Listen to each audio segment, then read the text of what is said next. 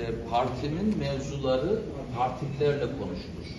Yani partinin yöneticileriyle konuşulur, partinin parti meclisi e, üyeleriyle konuşulur, e, eski yeni milletvekilleriyle konuşulur, efendime söyleyeyim, e, ilçe başkanlarıyla konuşulur, il başkanlarıyla konuşulur. Dolayısıyla e, bundan daha doğal bir şey yoktur. E, bizim e, bu ve benzeri belki 200'e yakın toplantımız olmuştur diyebilirim seçimden bu yana. Ee, Bunlar devam edecektir, devam ediyor. Gizli bir tarafı yok. Yarın da toplantımız, hatta bugün bile buna benzer toplantılarımız var.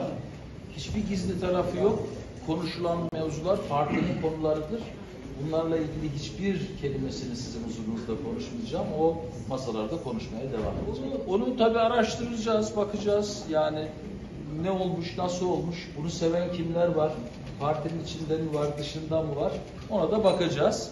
Ama biz e, partimizle ilgili mevzuları partimizin yetkilileriyle çekinmeden açık ve seçik kalbimizde ne varsa bir arada bir aile meselesi gibi konuşuyoruz, konuşmaya devam edeceğiz. Oradan sağlıklı kararlar çıkması için de yapılan her işlemi takip edeceğiz.